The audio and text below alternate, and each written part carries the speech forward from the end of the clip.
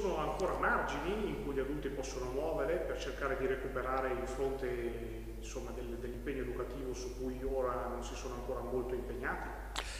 Certamente, eh, per fortuna eh, l'uomo, come diceva eh, Nietzsche, è un animale mai eh, definito, eh, ha sempre possibilità di, di, recupero e di modificare le scelte della propria libertà. È necessario che gli adulti prendano una pausa ecco, di, di, meditazione, di riflessione, ritornino ecco, su loro stessi e devono conquistare innanzitutto una grande libertà, la libertà di non essere più giovani, ecco, che permette quella simmetria, permette quella differenza, quella distanza al cui interno si può accendere un dialogo educativo efficace e devono rimettere al centro i giovani. Un giovane si muove, inizia a camminare quando legge negli occhi degli adulti una frase molto semplice, tu mi interessi. Dobbiamo passare da una società che ha in mente solo di procurare cose e beni ai giovani a una società che abbia cura dei giovani. Insomma, ecco, nella misura in cui gli adulti continuano a voltarsi indietro, a guardare come dire, eh, la loro giovinezza diventata irraggiungibile, diventano un po' come la moglie di Lot,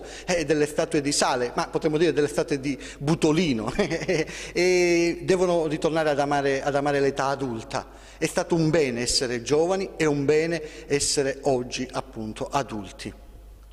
Società che spinge in tutt'altra direzione però. In una società che assolutamente basterebbe monitorare un attimo la pubblicità che eh, continua a, a, al ritmo dell'idea che la password della felicità è appunto l'essere sempre giovane, il forever young e qui penso che entri in campo proprio l'autorevolezza, la passione della comunità dei credenti, ascoltare il grido di sofferenza che c'è alla latitudine giovani di questo mondo e proprio dei, del, del mondo della Chiesa. I giovani, è bene che lo sappiamo, hanno bisogno di autorità, hanno bisogno di adulti, hanno bisogno di testimoni, testimoni appunto che la vita è, difficile ma è bella, che la vita è segnata anche da sofferenze, da fatica, ma c'è pure un brivido di eternità che l'attraversa.